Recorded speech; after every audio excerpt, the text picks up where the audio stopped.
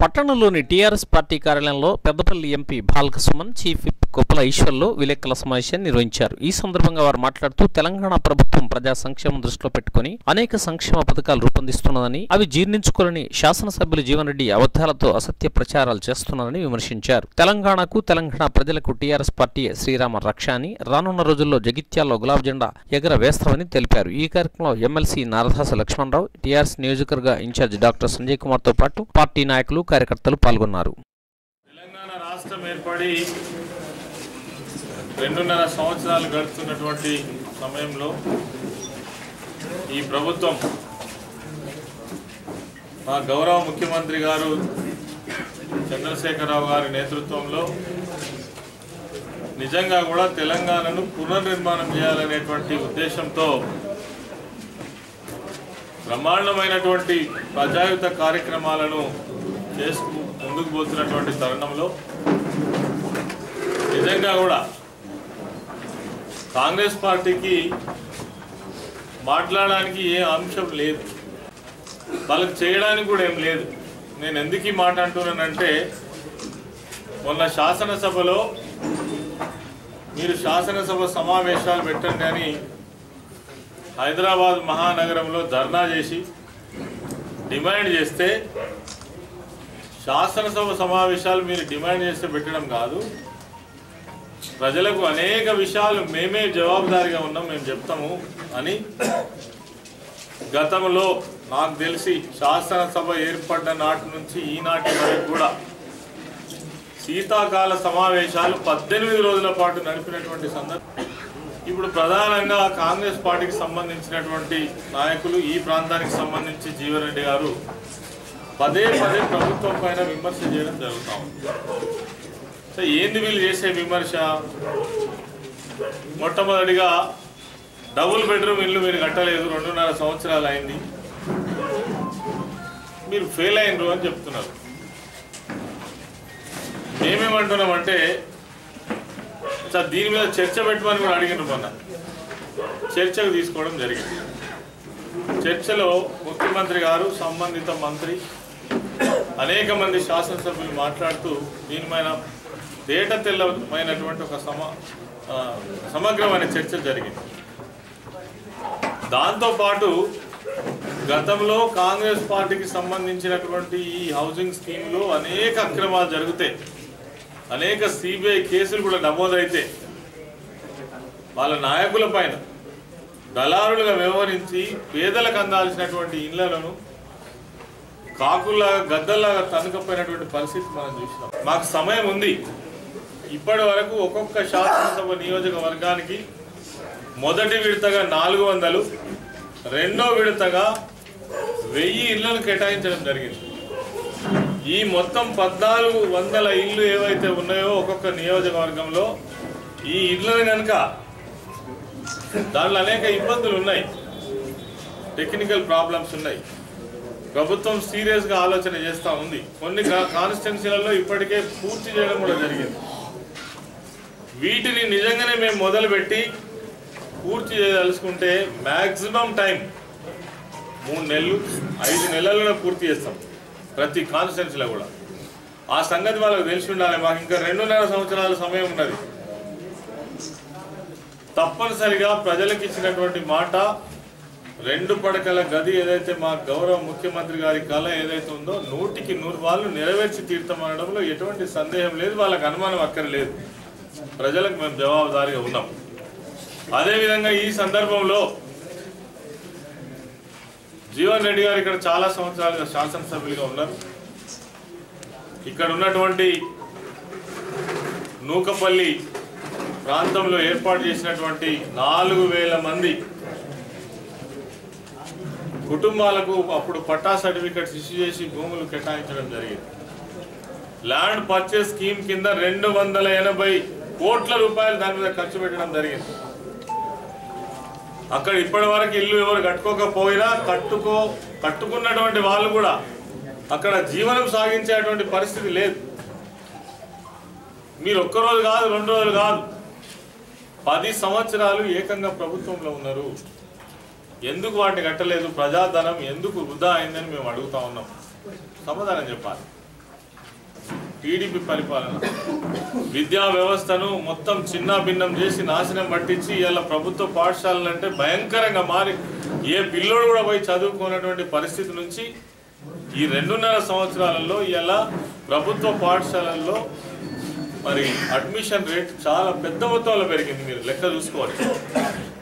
అది కాక KG to PG విద్యను అమలు చేయడం కోసం దాదాపు ఈ రెండు సంవత్సరాల నుంచి మా ముఖ్యమంత్రి గారు అనేక అంటే విద్యా వ్యవస్థకు సంబంధించినటువంటి నిపుణులతోటి అనేక సమీక్షలు నిర్వ నిర్వహించి అసలు ఏ విధంగా మనం తీసుకురాగలుగుతాం? డే అంటే ఒక్క రోజులో అయ్యేటువంటిది కాదు. కాబట్టి దీనికి ఒక శాశ్వతమైన పరిష్కారం కావాలనే ఉద్దేశంతో చక్కటి ఆలోచన చేసి నిజంగా కూడా ఇలా మైనారిటీ కావచ్చు ఎస్సీ ఎస్టీ కావచ్చు బీసీలు కావచ్చు మరి నాలుగు వందల డెబ్బై ఐదు ఎనభై ఐదు రెసిడెన్షియల్ స్కూల్స్ ఒక్కసారి ప్రకటించి వాటికి బడ్జెట్ కేటాయించి ఇంగ్లీష్ మీడియం తోటి ప్రారంభించినటువంటి ప్రభుత్వం ఇప్పటి వరకు మీ ఆ నలభై ఈ ఇరవై అరవై సంవత్సరాలలో ఎన్నడన్నా మీరు ఆలోచన చేసిండ్రా? ఎందుకు మాట్లాడుతారు చేస్తున్నాం మంచిగా చేస్తున్నారు మా ప్రభుత్వం. ప్రజలు చాలా మరి దాన్ని చక్కగా రిసీవ్ చేసుకుంటున్నారు. మీరు ఏదో మాట్లాడాలని మాట్లాడడం తప్ప విమర్శ చేయాలని చేసి చేయడం తప్ప ఇందులో అర్థం లేదని నేను ఈ సందర్భంగా మరి వాళ్ళకి మనవి చేస్తున్నా. అదేవిధంగా ఊ అంటే విద్యా చట్టం మేము చేసినాం అమలు చేస్తలేరని మాట్లాడుతున్నారు. జీవన్ రెడ్డి గారే మాట్లాడుతున్నారు. ఏ- ఎక్కడ అమలైంది? పద్నాలుగు దాకా వాళ్ళే ఉన్నారు కదా అధికారంలో. రెండు వేల పదిలో విద్యా చట్టం హక్కు చేసి మీరు మీరు చట్టం చేసిండ్రు. ఆ రోజు నుంచి ప- రెండు వేల పద్నాలుగు వరకు ఎక్కడైనా అమలైందా? ప్రైవేట్ విద్యా సంస్థలకు సంబంధించిన యజమానులు దాన్ని సవాల్ చేసి కోర్టుకు పోయినరు అది కోర్టులోనే ఇప్పటి వరకు ఉన్నది. ఎక్కడ కూడా అమలు కాలే. మేము అమలు చేసేందుకు ప్రయత్నం చేస్తున్నాం. మరి లేనిది ఉన్నట్టుగా ఉన్నది లేనట్టుగా మాట్లాడి ప్రజలను కన్ఫ్యూజ్ చేసే పరిస్థితి తీసుకురావద్దు. మేము ఈరోజు విద్యాపరంగా కావచ్చు డబుల్ బెడ్రూమే కావచ్చు లేదంటే ప్రాజెక్టులో ఇరిగేషన్ ప్రాజెక్టులో రీ రీ డిజైనింగ్ కావచ్చు రోడ్స్ కావచ్చు మంచినీటి మిషన్ భగీరథ కావచ్చు. మీ అంటే రకరకాల ఏ పద్ధతులలో కూడా ఇయ- ఇవాళ ఇండస్ట్రియలైజేషన్ కావచ్చు నగరీకరణ కావచ్చు ఏ దాంట్లో చూసినా మరి బ్రహ్మాండమైనటువంటి ప్రగతి పథంలో నడుస్తున్నటువంటి ప్రభుత్వంలో మీరు కేవలం తప్పులు ఎత్తి చూపేందుకే పనిచేస్తున్నారు తప్ప ప్రభుత్వానికి నిజంగా శా- శాసనసభ వేదిక ద్వారా కానీ లేదంటే ప్రజావేదిక ద్వారా కానీ మీరు ఒక మంచి పరిష్కారం చూపించేటువంటి ప్రయత్నం చేయడం లేదు. అంటే మీరు చెయ్యరు చేసే వాళ్ళని చేయనియరు. మీ ధోరణి ఖచ్చితంగా అర్థమవుతా ఉంది. కాబట్టి ఇటువంటి విమర్శలు కాదు. మేము వచ్చి రెండు సంవత్సరాలు అయింది రెండు సంవత్సరాలలో అనేకమైనటువంటి ప్రగతికి నిజంగా కూడా చెప్పుకోవాలంటే మీరు చేసేదానికి పదంతల ఇరవై అంతల ప్రగతి ఈ రెండున్నర సంవత్సరాలనే చేసి చూపించినటువంటి ఘనత మా ముఖ్యమంత్రి గారికి ప్రభుత్వానికి దక్కుతుంది అది ప్రజలు గుర్తిస్తారు. ఇలా ఏం చేసిండ్రు? తెలంగాణ గిందికే తెచ్చుకున్నామని మాయ మాటలు మాట్లాడుతున్నారు కదా ఏం చేయలేదని అడుగుతున్నాం. మంచినీళ్ళు కావాలి మంచినీళ్ళు ఖచ్చితంగా మంచినీళ్ళు ఇవ్వకపోతే మళ్ళీ ఓట్లకే రామని చెప్పినాం. ఇరిగేషన్ ప్రాజెక్టులు అవుతున్నాయి. మిషన్ కాకతీయ నూటికి నూరు బాధ సక్సెస్ఫుల్ ప్రోగ్రామ్గా ప్రజలు స్వీకరించారు. అదేవిధంగా పెన్షన్స్ ఆ రోజు ఏమన్నారు మీరు? వెయ్యి రూపాయల పెన్షన్ సాధ్యమానాయా? వీళ్ళు ఓట్ల కోసం చెప్తున్నారని అన్నారు కదా మీరు? ఇవి ఉన్నోళ్ళని తీసేసి లేనోళ్ళకి ఇస్తారు తప్ప లక్షల మందికి వెయ్యి రూపాయల పెన్షన్ ఇస్తారా అన్నారు. నిన్న కాక మొన్న కాదు మన మా శాసనసభలో ఒంటరి మహిళలకు మళ్ళా వెయ్యి రూపాయలు ప్రకటిస్తే మూడు లక్షలు. మూడు లక్షల పెన్షన్లు ఒక మాటతోటి పెంచింది ముఖ్యమంత్రి గారు. మరి ఇవాళ నలభై లక్షల మందికి పెన్షన్లు ఇస్తున్నటువంటి ప్రభుత్వం మాది. ఉమ్మడి ఆంధ్రప్రదేశ్లో మీరు ఇచ్చినటువంటి ప్రాంత పెన్షన్లు రెండు వందలు ఇరవై ఆరు లక్షలు అయితే ఇలా తెలంగాణ తెచ్చుకున్న మన ఘన విజయంగా ఇలా నలభై లక్షల మందికి పెన్షన్లు ఇచ్చుకుంటున్నారు.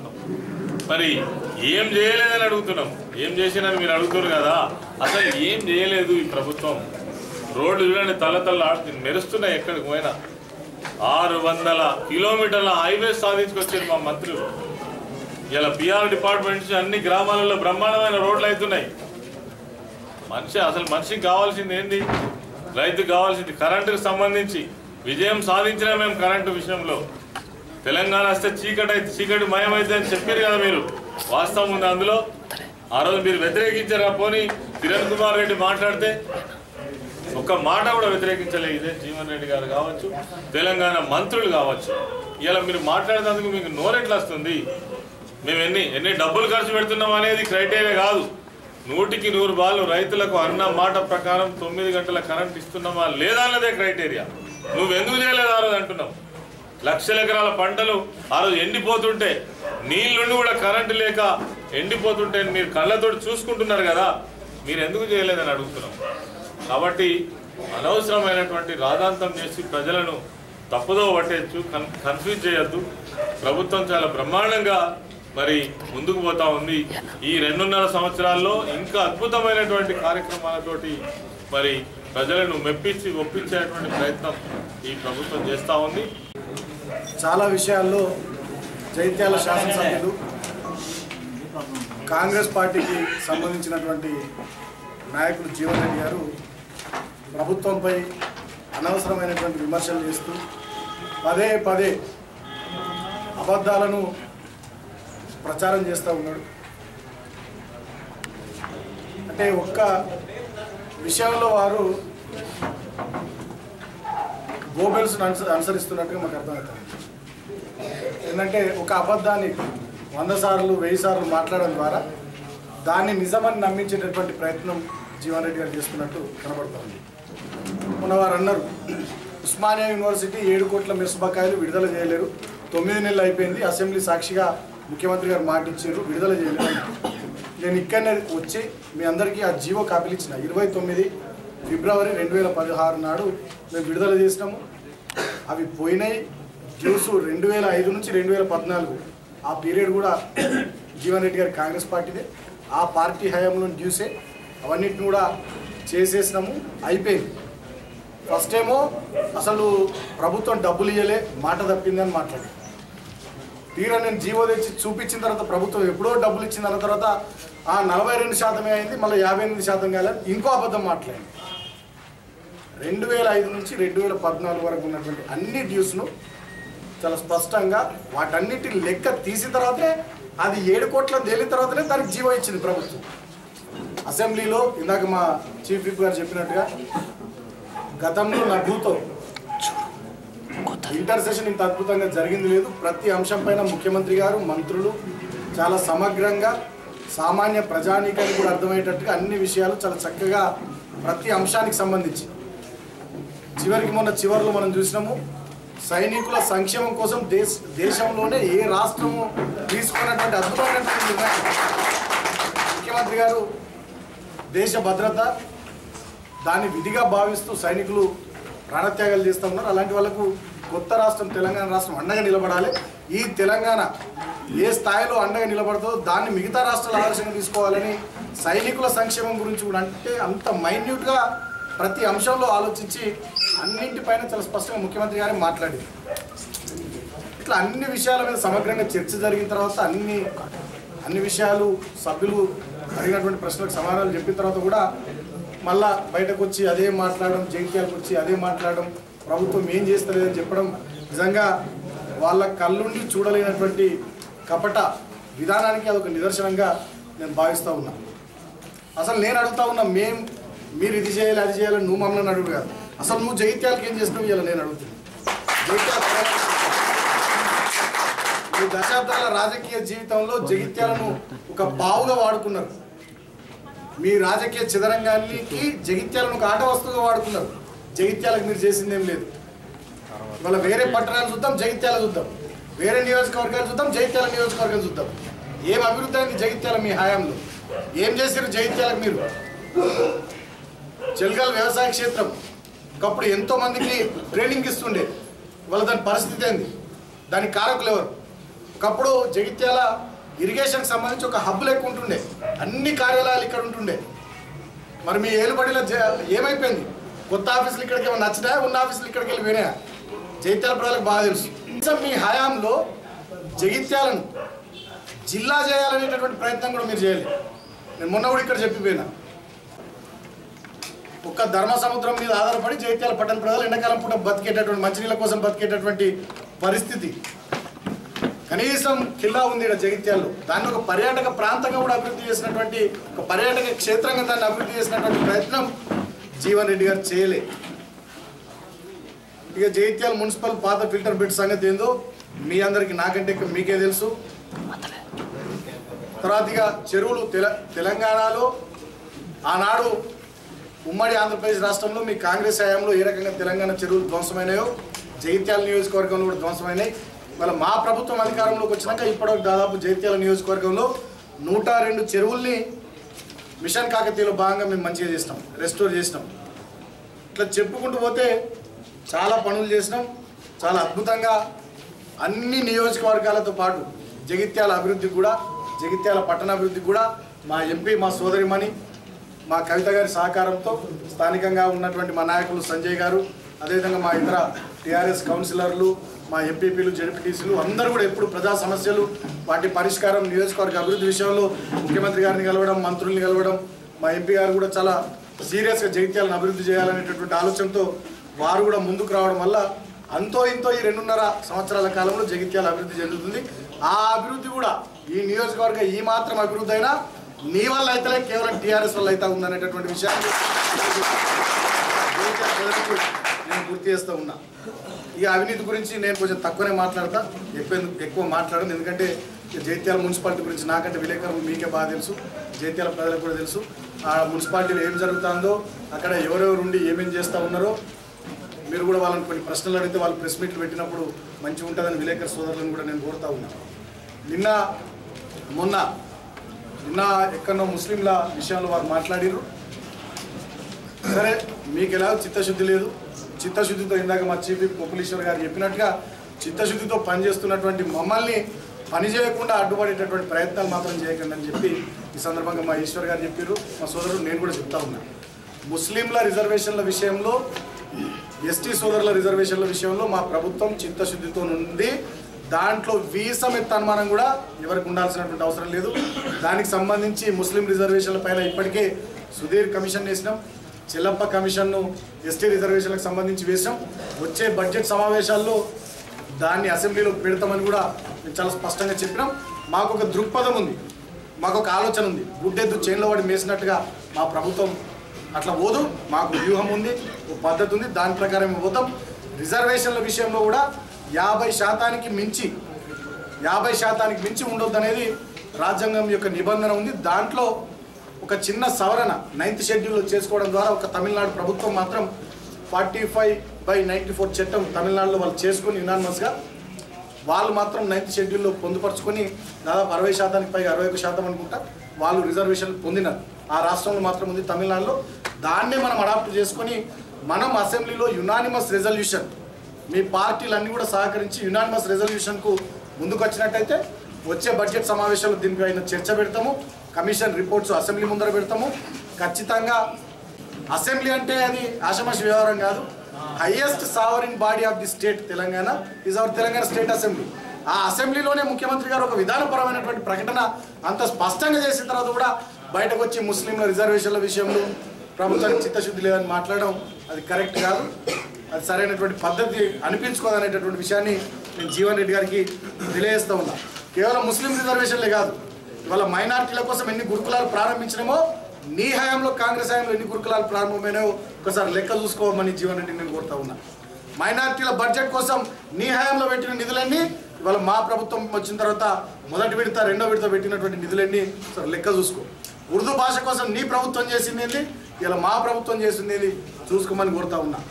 ఇన్నేళ్ళు దశాబ్దాల పాటు సంవత్సరాల పాటు ఈ దేశాన్ని కాంగ్రెస్ పార్టీ పరిపాలించింది.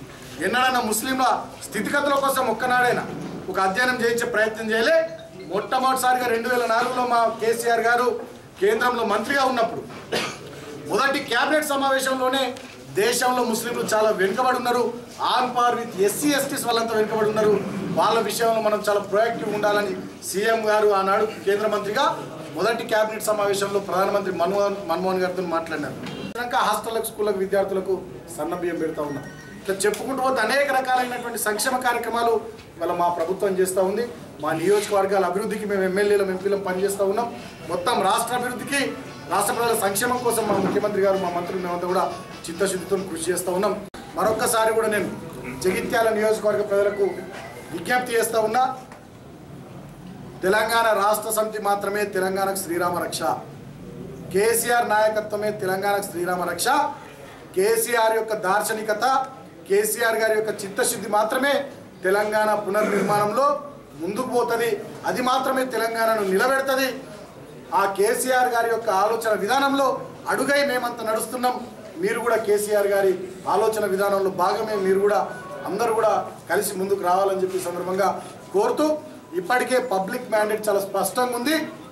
హైదరాబాద్ ఖమ్మం కార్పొరేషన్ల ఎన్నికలతో సహా మెదక్ పార్లమెంట్ ఉప ఎన్నిక నుంచి మొదలుకొని పాలేరు అసెంబ్లీ ఉప ఎన్నిక దాకా ప్రజలంతా టీఆర్ఎస్ పార్టీనే గెలిపించారు కాంగ్రెస్ను బొందబెట్టిర్రు. రాబోయే రోజుల్లో అదే ఒరవడి కొనసా కొనసాగుతుంది. ఈ జగిత్యాల జిల్లాలో కాంగ్రెస్ పార్టీ పరిస్థితి ఖచ్చితంగా సున్నా అవుతుంది. ప్రజలే ఆ దిశగా కాంగ్రెస్ పార్టీని ఒక సంగతి చూస్తారని చెప్పి. ఎందుకంటే పదే పదే అబద్ధాలు మాట్లాడేటోళ్ళు పదే పదే ప్రభుత్వ ప్రభుత్వ విధానాల మీద బురద చల్లేటువంటి విషయంలో ప్రజల యొక్క దృష్టి చాలా స్పష్టంగా ఉంటుంది అనేటటువంటి విషయాన్ని సందర్భంగా జీవన్ రెడ్డి గారు గుర్తు చేస్తూ మళ్ళొకసారి చెప్తా ఉన్న జీవన్ రెడ్డి గారు మీరు చరిత్రలో టీ జీవన్ రెడ్డిగా మిగిలిపోదలుచుకున్నారా? లేదా ఏ జీవన్ రెడ్డిగా అబద్ధాల జీవన్ రెడ్డిగా మిగిలిపోదలుచుకున్నారా? మీరే తేల్చుకోమని సందర్భంగా వారికి తెలియజేస్తా ఉన్నా.